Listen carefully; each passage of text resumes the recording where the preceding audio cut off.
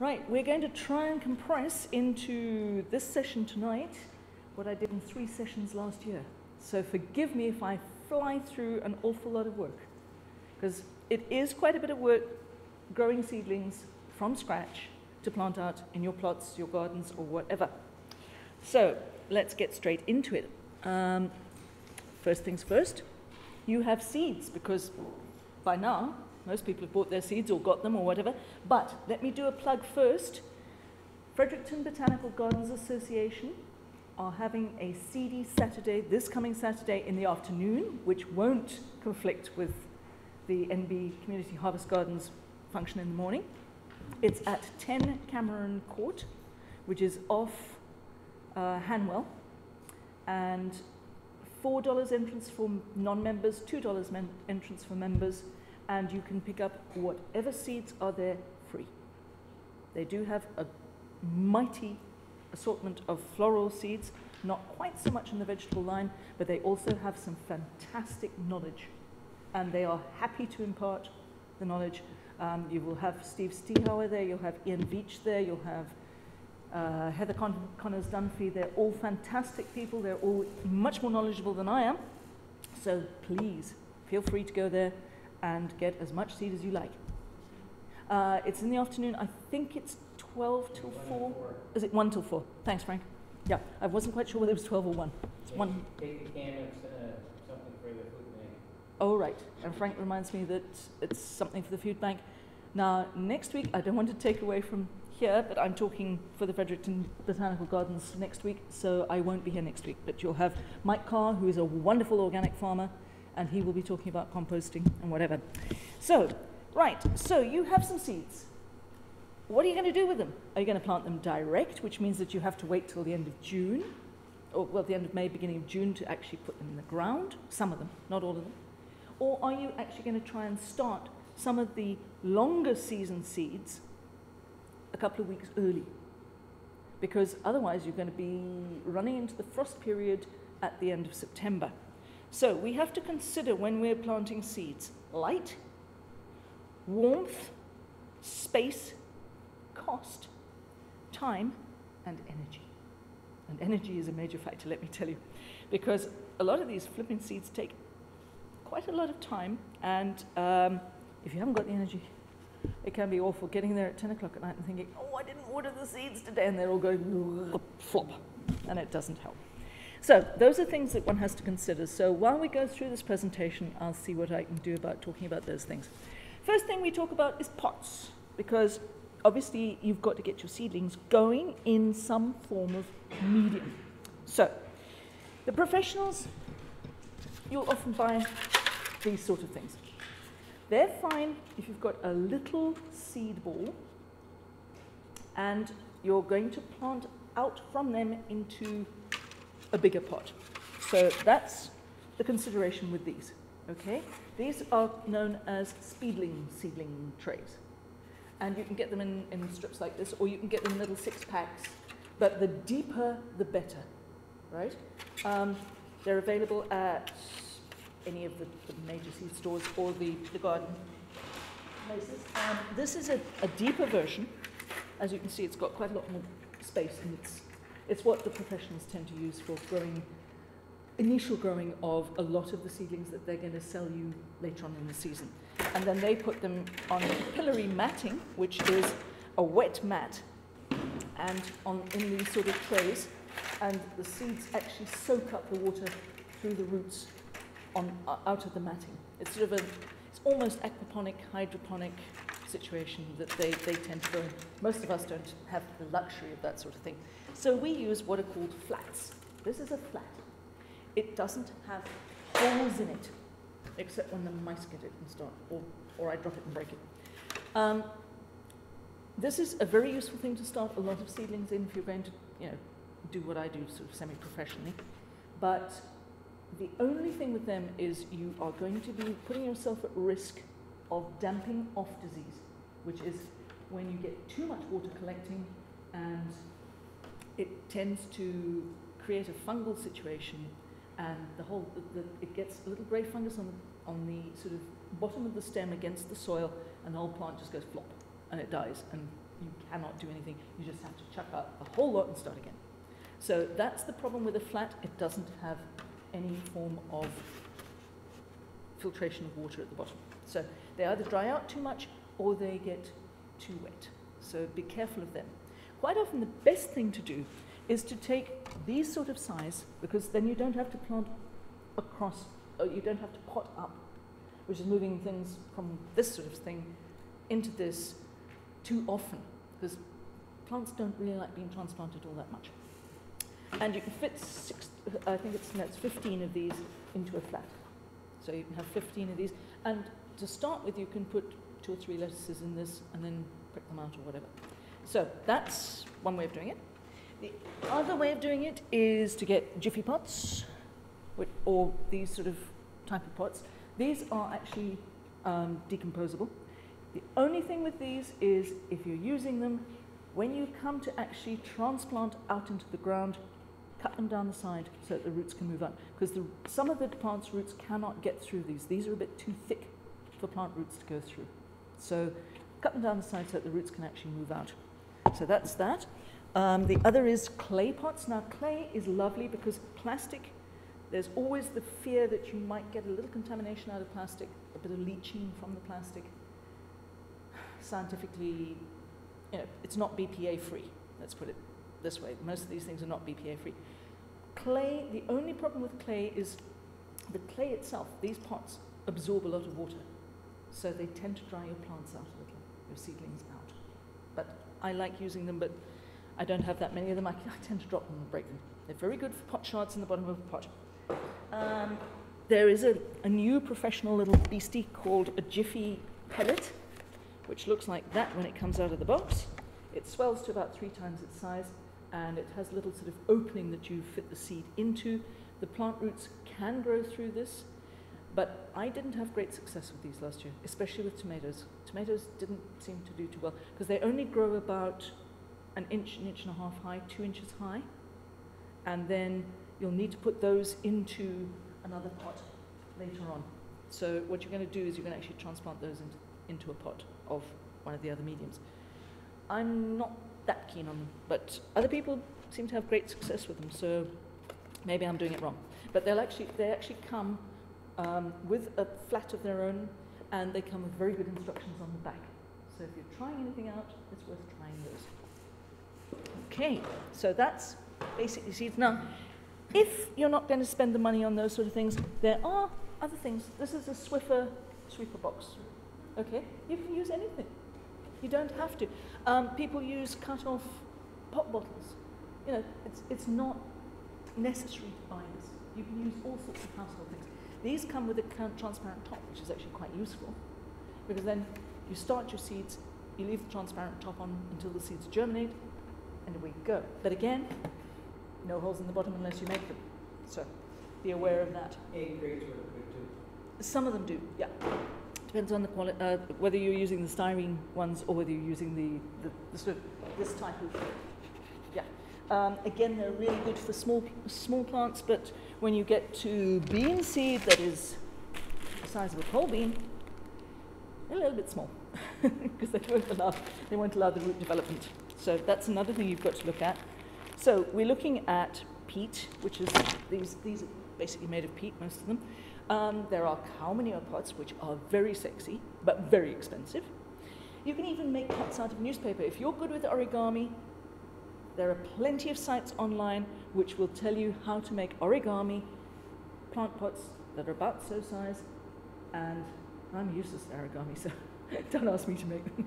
okay, but again, watch out with um, newspaper. Use the good old newsprint. Don't use the, the flashy um, very shiny stuff that's got lots of colour on it because the colour ink leaches out into the whatever you're using as your planting medium and you can in fact kill your plants with that. Okay, so Jiffy products we've looked at, plastic including the flats, clay we've looked at, milk cartons, just the ordinary old half litre milk carton, fabulous. They're really good. And if you're going to try growing in plastic bags, try not to use clear plastic bags because roots do not like light.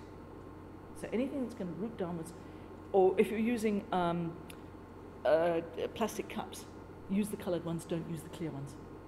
Okay, so plastic cups are perfectly good. Just make a hole in the bottom and they're fine. Right, so there's your pots. Now, fill them with something. Okay, this something is very, very important. You'll need a starting mix. You're not going to go out in the garden and dig up something because it's going to have bacteria in it, it's going to have fungi in it. It's also probably, because New Brunswick has a very clay soil, it's probably going to be very compact and your seeds are not going to have the space for root development that you need. So this is where I say spend the money, it's worth it. Okay, so you can buy seed starting mix. There are various varieties of it. Um, if you really want to be organic, look for the OMRI, O-M-R-I seal, which is the certified organic. Okay, um, this costs about six dollars something. So, but it'll do quite a lot of seeds. I can tell you that. It is ready to use. It's pH balanced. It's got master compost and perlite in it, and it's pretty good. If you want to do bigger quantities, you can buy the ingredients yourself. You buy the perlite, which looks like that in a bag. That bag is normally about, it's a nine litre bag, and it's normally about, again, seven, seven ninety nine or something like that. You'll need that, and you'll need vermiculite. Now, these are both expanded rock at very, very high temperatures. One is volcanic, the other is not. Um, what they've done is they've expanded that rock, and it looks like, when it comes out of the bag, this is vermiculite. It looks like little gold particles, sort of slightly, slightly flashy. And the perlite is white. The more of that you get in a starting soil or a starting mix, the better it is. Because this is the one that holds the water. This is the one that expands and gives you the aeration that you will need for your seeds to have a proper bed to work in. Peat moss looks like that. I'll pass all these around. The other thing that people are starting to use quite extensively is coconut. The, the outer husk of a coconut is known as coir. Can anybody remember going to boarding school in coir mattresses? They were horrible things. Way back in the 60s when I was at boarding school, we had these thin mattresses and they were lumpy and they were hard. They were actually made out of coconut husks. You know them. like, yeah. No, yes, that, can, that ages me, doesn't it? Right, yeah. So coir, um, you can get it. It looks like this. It's called Beyond Peat. Now, there are those that don't like us using peat. Because peat takes about 200 years to break down. But of course, Canada, especially New Brunswick, produces about 40% of the world's peat at the moment. And that's up near, uh, up the north um, central part of the province. This, they contend, is um, equivalent to three cubic feet of peat moss, which is quite a big bag, I can tell you. And the contention is that because we have so many coconuts in the world, especially down in the tropics, which they're husking off, they're taking this stuff off and just throwing it away, it's much better for the environment to, to take the coconut husk and the coir. Anybody who's grown amaryllis in pots, did you get amaryllis for Christmas in pots? This is what they actually put in that pot as the starter soil. And it's, it's really good. So that's what it looks like. It's available at Home Hardware. I took most of their stock the other day. I'm hoping that they've got some by now. Now they've got um, Beyond Peat, and there's another one which is something else peat, which is not the one that you want for starting seeds. Okay, so let's pass these around. Um, oh yeah, we'll come back to that in a moment. Sunshine mix number four um, is what the professional guys like George Scott use. Well, the sunshine mix is 2468 is what they use to, to grow in greenhouses. And that's what that looks like. Um, but again, that's a huge big bale and it costs 24.99 a bale. And it's. It's, it's called Sunshine Mix number four and it's available at the Co-op Country Store up here on St. Mary's. Yeah. But it's expensive, but it's really good stuff. Yeah. Um, this is chicken grit, and that is what you put. If you start getting slightly green-looking soil, um, because it's not quite in as enough as much light as you would like, put a little bit of chicken grit on the top when you plant your seedlings, when you plant your seeds. That will stop that green developing. that was a, uh, a hint I got from somebody at the Fredericton Botanical Gardens Association the other day because I went to his seed sowing talk because I always want to know. Anyway, so these are coming up. Can you look at? Can I ask a question? Yeah, What is chicken? grit? chicken grit. Um, it is literally grit that the chickens will eat, and it helps them produce calcium to produce nice, solid eggshells. Yeah, it's like oysters. Okay, Yeah. that's a good It's like oyster shell. Yeah, but that's just the cheap version. right. Um, that's also available. It's uh, if anybody wants me to bring smaller amounts, because I bought a 50 pound bag the other day, I, I can bring in probably enough. You know, I'll bring it in next time I talk, which is April mid mid April. I made the chicken grit at uh, Suregain probably. Yeah, the chicken grit at Suregain's quite a bit bigger in, in diameter. Yeah, this is actually, you can get chick grit and you can get layer grit. The chick grit is very, very small diameter. The layer grit is much bigger. Yeah. So, it also, you know, obviously with chickens, it helps them grow good solid bones and it's, it's, it's, it's a calcium additive. And it, it helps with planting as well because it's calcium, basically.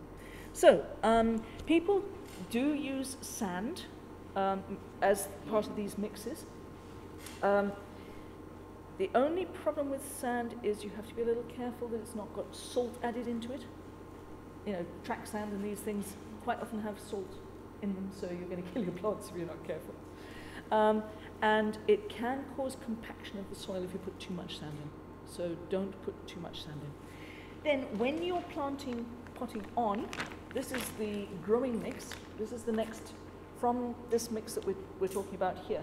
From that mix, you go onto this mix when you're potting up. Um, this one will actually, if you're going to keep your stuff in containers right through the year, this is the one that you would use because it's really good. And it's, it's got food in it. This stuff has absolutely no food value for your plants at all. It's just to get them going.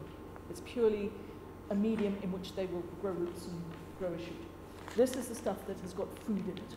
It's, it's a pH balanced and it's got a certain amount of uh, nitrogen and phosphorus and uh, uh, potassium in it.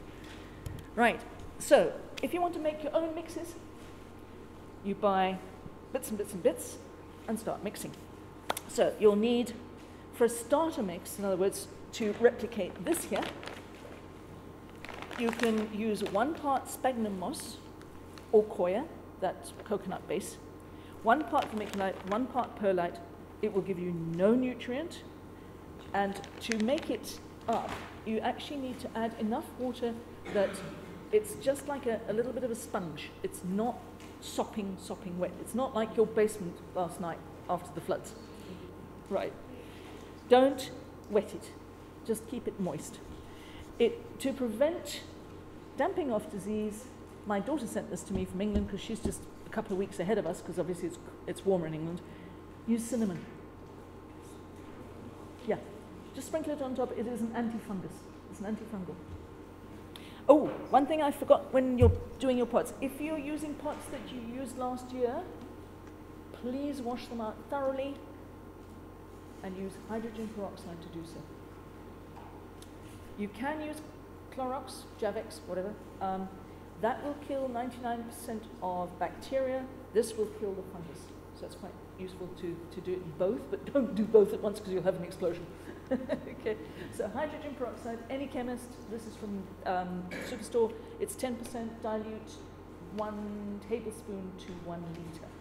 And, the, and with the chlorine base, you would dilute one teaspoon to one litre. And wash your pots out and make sure that they are well cleaned because you might be bringing diseases in that developed over the, the previous year. 10% of the hydrogen, this, this is a 10% dilution and one tablespoon to one litre. Yeah. Uh, you can get a, a, a heavier dilution, uh, Seventy and ninety. 70 and 90, I wouldn't use those. They're, they're, they're really tough. But this is the one that you know, you use for bleaching hair and things like that. okay, right. So um, now this is the growing on mix. So when your seedlings are at a stage where they can be moved on because they're getting too tight in whatever they've started out in, you'll use two parts commercial potting soil, one part peat moss or coir, one part sand. This is where you can use sand or perlite. Um, this is all in that uh, handout, by the way, you don't need to write it down. And you moisten it all before you transplant. And if green moss is a problem, I've already spoken about the, the chick grit. So that stops the growth. Okay, so understand the seed packet. That's one of the things that is quite important. You'll get your seeds in a packet unless you get them from me, or if you get them in a seed swap, you sometimes get them in a packet. Don't get them in a packet. Um, Fredericton is zone 4B or zone 5 to zone 5. Depends on the season somewhat. 4B is the cooler seasons, 5 is. So if you're going to start trying to grow things that are zone 8, 9, and 10, which is sort of way down Florida, it's not going to work. well, it's not going to work easily. Some people can get away with it. After all, tomatoes, peppers, eggplant, um, uh, sweet potatoes, they are all either subtropical or tropical plants. And we're trying to grow them here. So this is why we have to start them early. That's why they need this long season. And that's why they need to be full grown plants by the time we get going, trying to get to, harvest by June, well, by July and August and September. So the outdoor growing season here is between roughly May the 22nd and September the 22nd. That's your last frost and your first frost. May the 22nd to about September the 22nd. Luckily, our growing season is extending every year slightly, but not that much. Not that much. So um, it, it gives us approximately 17 to 20 weeks, approximately 120 to 140 days. So if you start planting things like leeks in June, their season is 150 days. If you're lucky, you'll still be harvesting them up to December, but you know, it's good to start leeks right now so that you can get them. So looking at this, um, just a couple of uh, abbreviations that you might not know. A hardy annual, HA, is direct sown outside. A half hardy annual, this is mostly flowers rather than uh, vegetables, is start inside and keep them going. A hardy biennial, a biennial is a plant that grows for the first year, it just grows. The second year, it flowers, fruits, seeds, whatever. Parsley in the vegetable line is a biennial. A lot of biennial um, flowers as well. A hardy perennial you can sow direct outside, and a half hardy perennial you'll need to start inside. And the perennials are the ones that will come up again and again. They'll die back in the winter, but they'll come back every year. That's a lot of the flowers that you'll see around here that people grow. Okay, so start inside for sure. These are the ones that I start inside. Other people start other things. Leeks, onions, if you're trying to grow onions from seed. Quite honestly, I don't. I just go and buy the sets, which are the little baby onions that somebody else has started, stop them growing, and you plant them and get them growing again. That's the, the quickest way to grow onions. Onions from seed is hard work. The cold crops, all brassicas. Um, that's kale, Brussels sprouts, cauliflowers, cabbage, collards. And there's a picture of rapini. I was talking about rapini last week. Does anybody recognize it now? Yeah. It's really nice and it's, it's very easy to grow. It's as easy to grow as broccoli.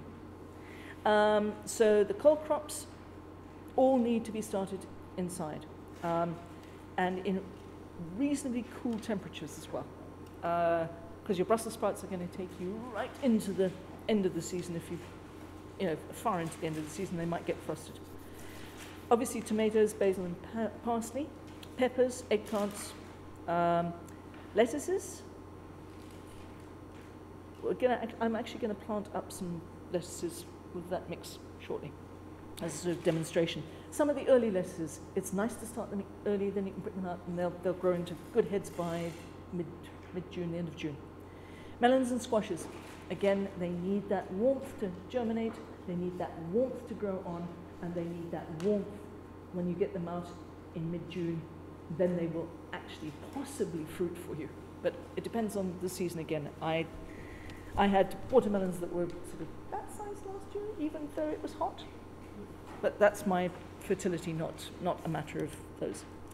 Okay, start outside. Early May if the soil is not waterlogged. If you started with the garden here a couple of years back when we were actually starting the garden here, you'll remember that that was one soggy spring. And it was extremely hard work, and we didn't actually get into the garden, am I right, until halfway through June? Yeah, it, actually, we were planting into July. So, please don't work your soil if it's wet, because you'll damage your soil. You will actually, if you went out today after yesterday's rain, apart from the fact that it's still frozen an inch or two down, if you'd tried to work your soil today, you would have been damaging your soil. If you'd walked on it, or if you had actually tried to work it, you would be compacting it. And do you remember last week we talked about compacted soil? I'll be talking about weeds and what they can tell us in a couple of weeks' time. Dandelions show you that your soil is too compacted. So if you've got masses of dandelions, you've probably got compacted soil. You need to actually dig it up and aerate it. Okay. Early ones that you can plant, I wouldn't start planting these until probably the last frost date, May the 22nd outside. Peas, carrots, beets are a bit iffy at that time, chard, potatoes, and radishes. Earlier you get your potatoes in, the more chance you have of them growing to a reasonable size before the dear old Colorado potato beetle hits. And I have Colorado potato beetle till it comes out of my ears. Crop rotation, we'll come to that in a minute. Later, in early June, your warmer soils, beans of any sort, spinach, corn, onions, and any of the choy family, uh, the bok choy, pak choy. Ooh, there are plenty of them. Um, the, the, the Chinese cabbage, the really nice Chinese cabbage. Transplant in mid June. These are the plants that you started round about now, into April, into May, and you're going to transplant in June. Everything that you've grown inside. Now you need to harden it off first. Hardening off means going and taking these plants, this is where energy comes in. Taking them outside in the morning, putting them in a direct light but not bright sunlight. Nice direct light spot but not bright sunlight because they've just come out of a, a place where it's dark at night and fairly, fairly dark inside the house. So you're going to put them out for the day, you're going to take them back inside at night because they're still not really used to breezes, and wind can play a huge, huge factor. It's a big factor in plants transpiring and flopping because they're, they're, they're wilting because they're, they're, transpire, they're transpiring too much. Um, they're not used to direct light, and they're just sort of going, hey, what's this? You know, we've been coddled, we've been looked after, we've been pampered, and now suddenly, you know, help! It's like going from junior school to high school, or high school to university, possibly even worse, because after all, you're still being spoon fed to a certain degree at, at school. You get to university, and they're saying to you, right, the assignment's got to be in on that date, and there's nobody pushing you. Yeah, so harden them off first. We'll come back to that in a minute. Watering and covering. Now we're going back to actual when we're at the seed stage, and as I said, you water too little, the, the seeds will shrivel and die. Seeds are, after all, an embryo in a casing. That's what they are. That embryo has to be watered to get it to break the casing open and to grow. And as I said last week, if you're going to try and grow sweet peas, you actually need to scrape that casing so they can break that casing because that casing is very, very hard.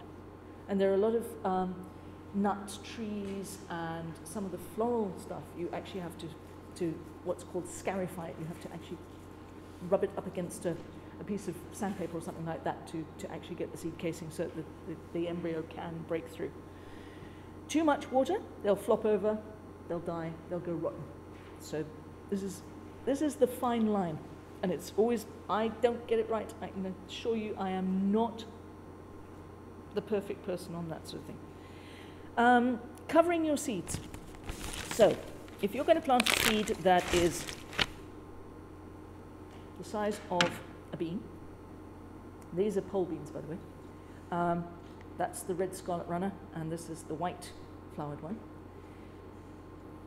You're going to plant them so that little white mark, which is actually where the roots and the, the stem will come from, is facing downwards. Okay? You're not going to plant them so they're like that. Pictures show you like that, and they show that the, the actually pass. But you're going to cover those to three times their depth. The, the rule of thumb is any seed that you've got, cover it to three times the depth, unless it is a seed that likes to grow in light, and that's lettuces. Lettuces don't like being covered actually; they want to be on top. Right, so that's that's an issue because obviously, you know, we start with top size, we go down to pumpkin size, then we can go right down to, and this is how I do small seeds. Um, this is actually mesclun lettuce. Actually, tip it into one of these, and if you if you're not good with your hands, one way of doing it is literally picking it up and sort of rolling it through your thumb and forefinger as you put them out, and you can sort of get them spread out quite nicely. But if you're not good at that, either buy one of those little seed sowers, which is a little round thing, it's got a sort of funnel off the side, or use an old spice bottle and use the top, and it will spread quite nicely for you. So that's just a, little tip on spreading seeds a bit more easily. Um, I've got cilantro here, which obviously is round, so that makes life slightly complicated because you've got to decide what the, you know, three times its, its width, its diameter. Um, and I've also got, and you're welcome to come and collect any of these from me at the end. Um, these are all spares. I've also got what's called Gaillardia, which is actually a flower. Um, it's a perennial. It's uh, also known as blanket flower. Might know as blanket flower. It grows very well and it's, it's very easy to grow. Yellow and red, um, and it's got a sort of pin cushion. This is the seed head in the middle. Um, they grow nicely and they grow easily, and they're very good for bees. So that's why I brought them along. So please feel free to come and help yourselves at the end. I've got extra bags. Um, I haven't got enough of those. But this is basically for people who've got the space or want to grow things that will go upward. The, uh, these seeds are a mix of Hubbard squash, well, they're the winter squashes, they're the Hubbard and the acorn. So I can't tell you which, there'll, be a bit of a mystery squash for you. Um, and as I said, these are the pole beans and they will go 8, 10 foot tall. But wonderful, if you've got the space for hummingbirds, they love the red ones, which are the dark ones. They absolutely love buzzing up to them and they're, they're, they're the actual pollinators for, for pole, pole beans. Right, so that's those. Um, so we've had a look at that, watering and covering. We've had a look at, yeah, back of the seed packet. Normally we'll tell you, um, they've got wonderful directions, most of the seed packets. They will actually tell you, direct sow in direct seed in early spring, sow thickly in wide rows or in beds, cover lightly about quarter an inch. Veseys, telling you about mesclun, which is the baby leaf lettuce, the one that you cut and it comes again. Um, plant every one or two weeks to ensure a continued harvest. Uh, and it gives you the pH soil of the soil. It gives you what to do with pests and diseases. And even some of them give you the companion plants, which is really useful. So have a look at the back of the seed packet, um, or actually go into the seed catalogues. They, they normally have growing hints as well. Uh, Veseys definitely do. Um, or is it? No, it's OSC, I think. Yeah, here's about onions. If you're going to grow onions from seed, it's got a whole little table on spacing and everything else. So they're pretty good. So, um, so that's that. This is beautiful picture of damping off disease. Unfortunately, let's see if we can get a little this is begonias. Somebody's trying to see, uh, grow begonias from slips. But as you'll see in the middle of that picture, um, there are the collapsed plants because they've been they've been wetted too much. And if you go to the original of this, um, the in from the right, the second of the cells there has a nasty green moss growing on it. And that is what damping off disease looks like. It's not a pretty sight. If you get that, destroy everything. Just chuck it completely. You can't reuse the soil because it's a fungus that's got into the soil and it has wiped out your plants. So don't try drying the soil out and reusing it because it, it'll come back again.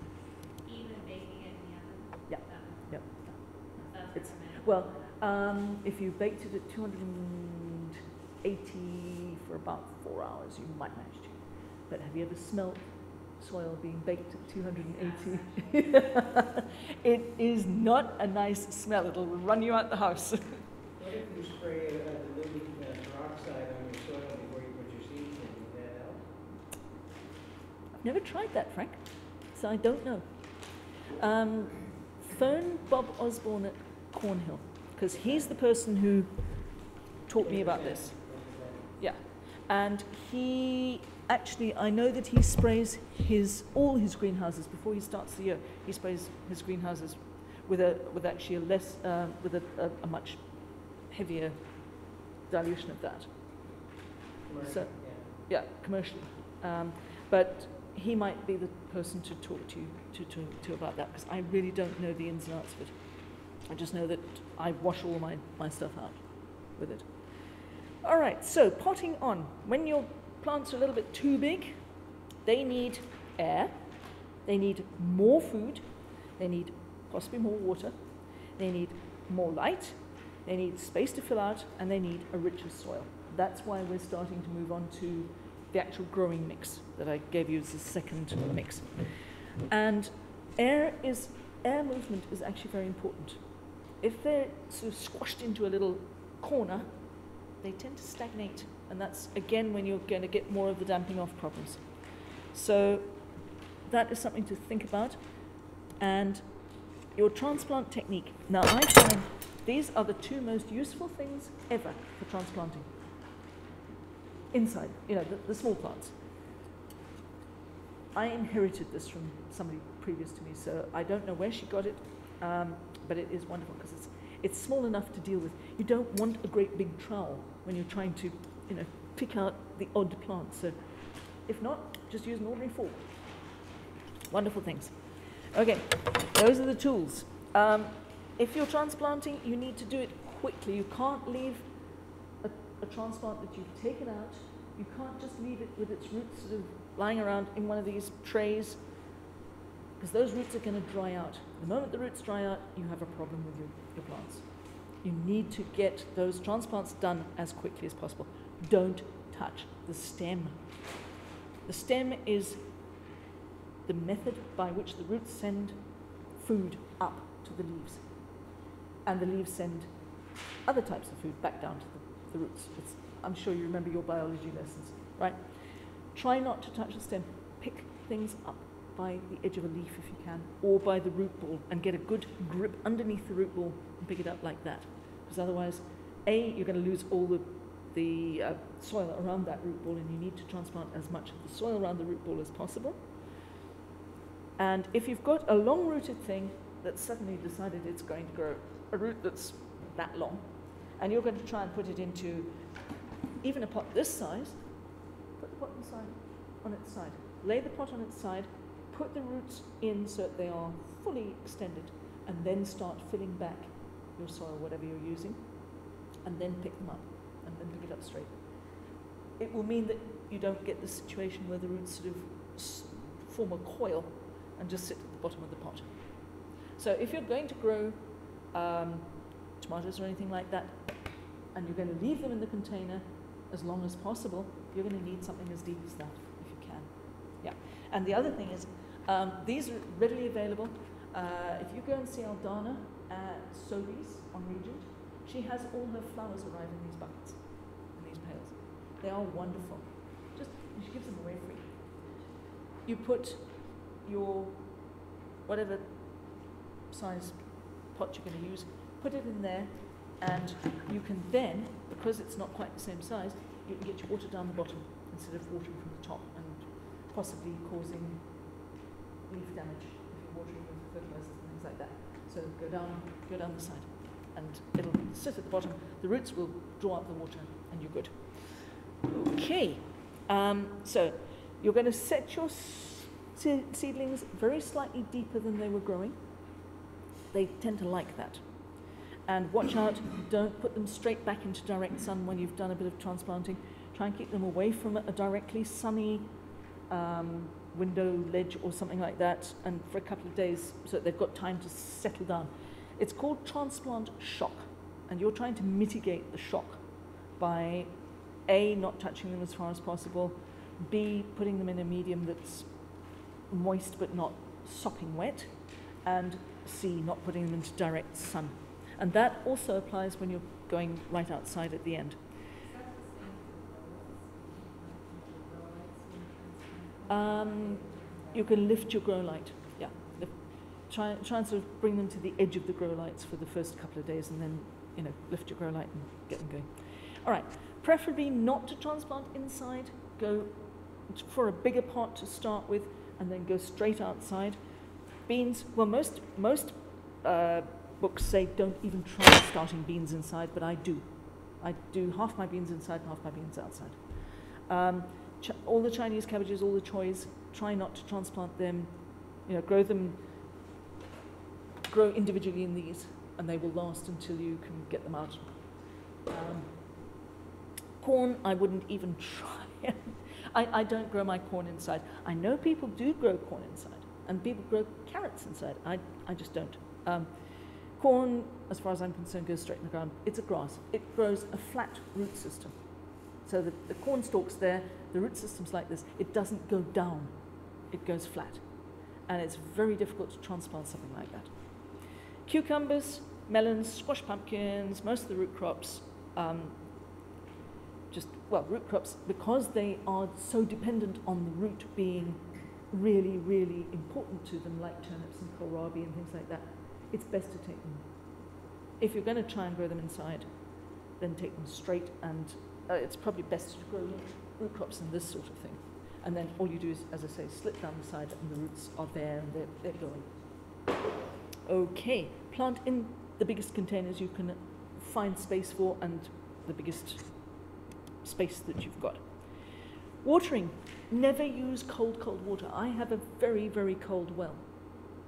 In fact, it almost free, freezes on me when it was really, really cold. Try and use water that's lukewarm, warm to the hand.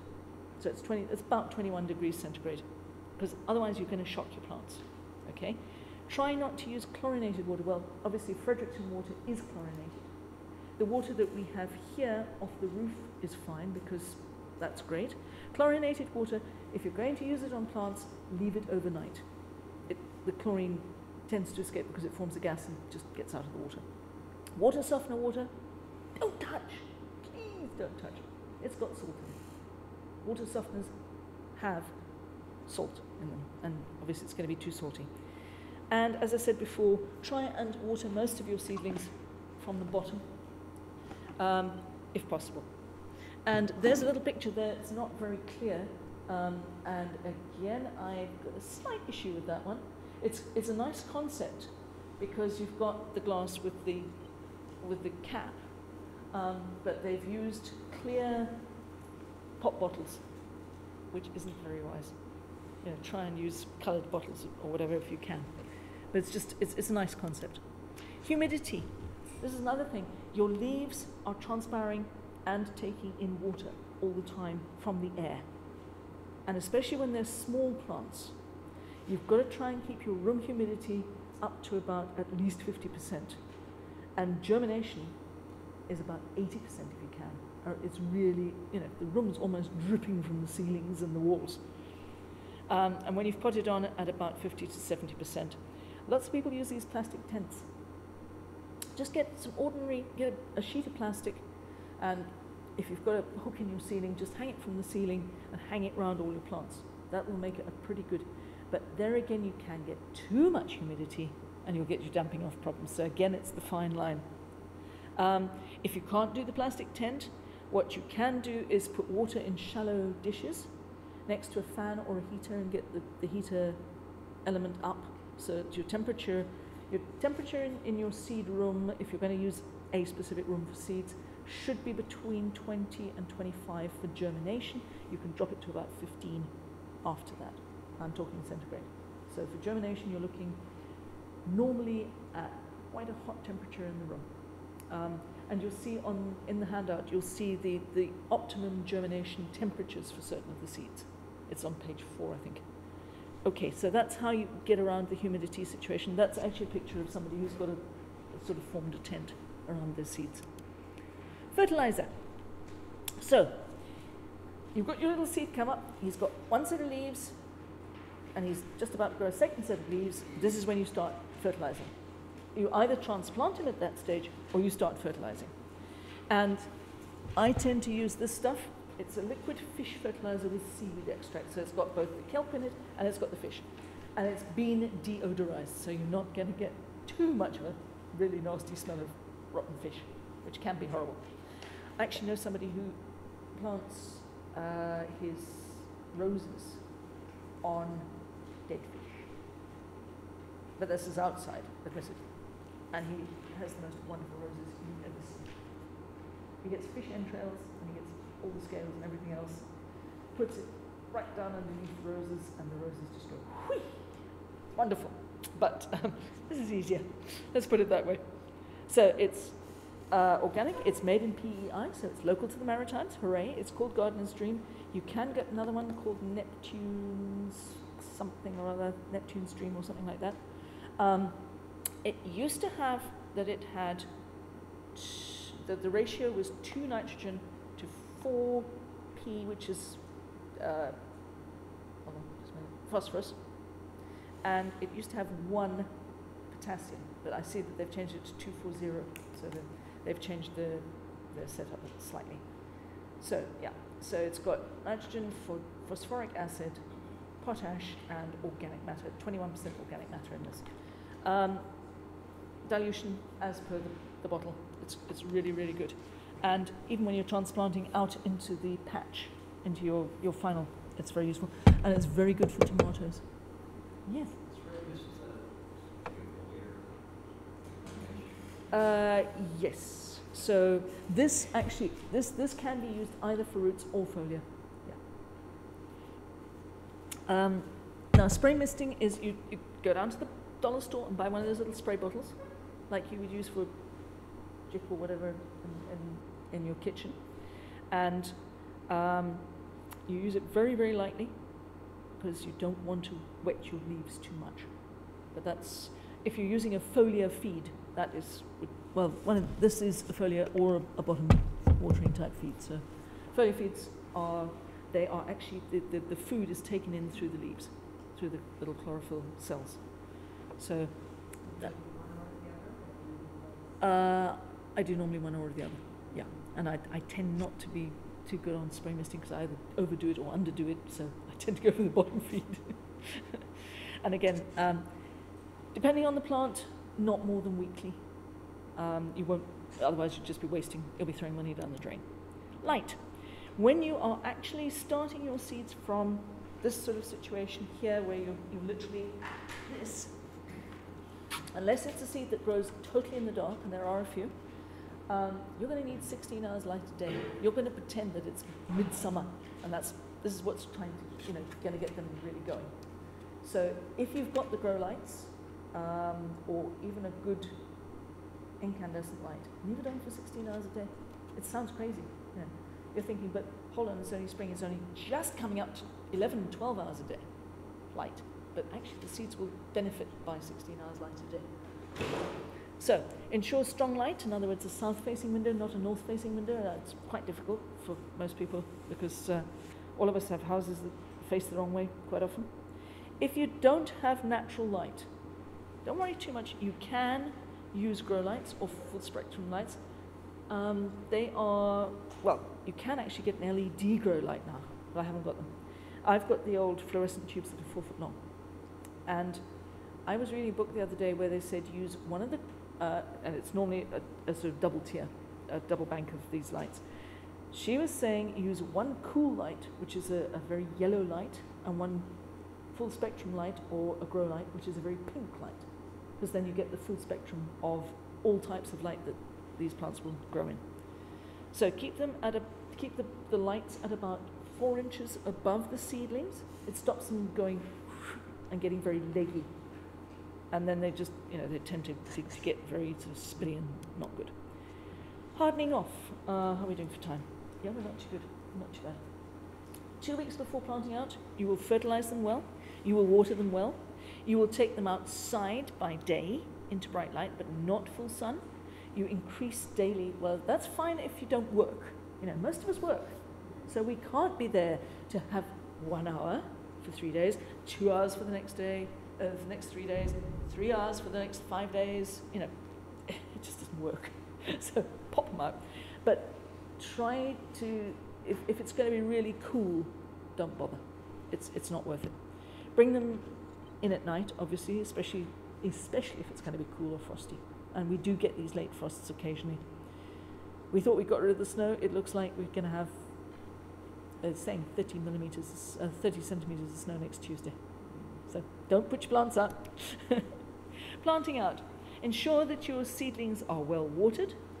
Try and choose a cloudy or drizzly day uh, or the late afternoon. If you can't do that, go to the late afternoon, plant out in the late afternoon because they will have the night to settle. If you're going to plant in the morning, they're going to get bright sunlight on them. They're going to go, ah, what are we doing? Your hole would be slightly bigger than the pot that you are trying to take them out of, obviously, because you're going to mix a bit of compost in the bottom, or you're going to mix it with a ordinary edible oats. Edible oats is a wonderful, wonderful root stimulant.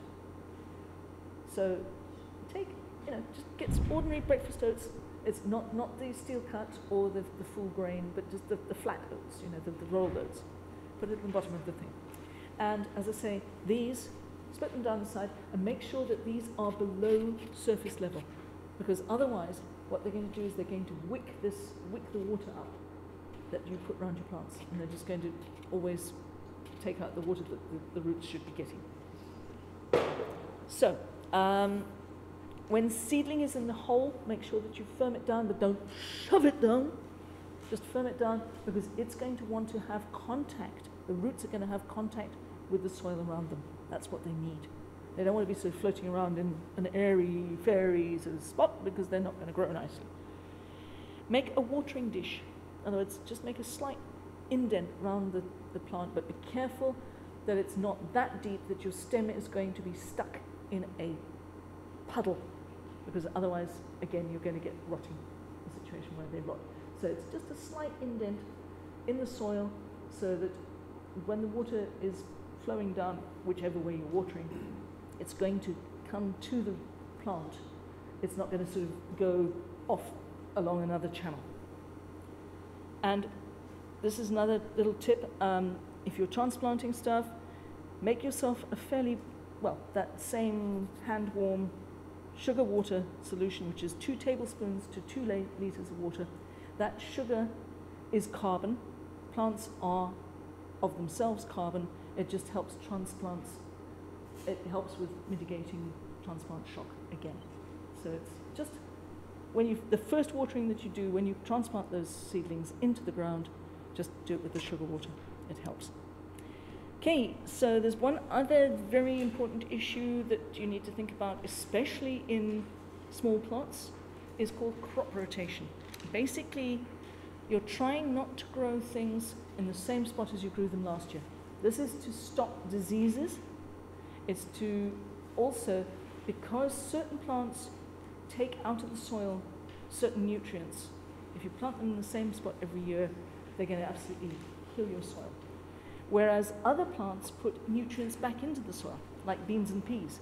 All the legumes are wonderful for actually feeding back into the soil because they, they have in their roots, um, it's called rhizobium, and it's a form of um, growth where they attract nitrogen fixing bacteria. It's, it's fairly complicated science, so I'm not going to go into detail about it, but that will help the rest of your plants grow. So if you're going to grow beans there this year, plant your tomatoes there next year because they will appreciate that extra nitrogen that the beans and peas have left behind. So your crop rotation, try and grow your um, leaves, your cabbage and your lettuce in one spot. Your fruits, in other words, anything that you would use in a lasagna or a soup, in another spot, except your um, yeah, that, that sort of things like your tomatoes and your, your eggplants and whatever. Your roots would be things like parsley, carrots, um, onions, and not onions, and garlic in another spot. And then the rebuild things are the peas and the beans and even corn and potatoes, although corn is quite a heavy feeder in itself. And if you're trying to break in new soil, potatoes.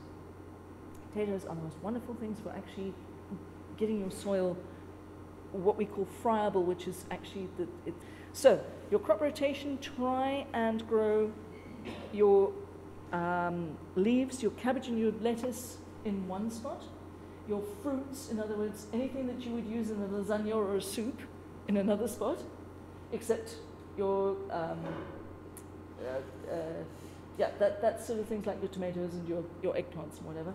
Your roots would be things like parsley, carrots, um, onions, and not onions, and garlic in another spot.